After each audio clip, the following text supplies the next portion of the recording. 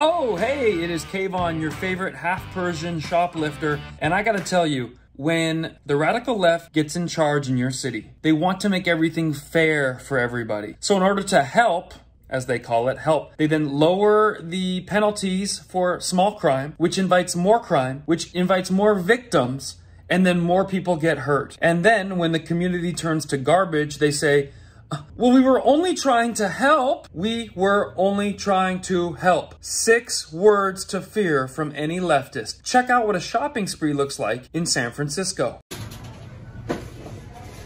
Call 911.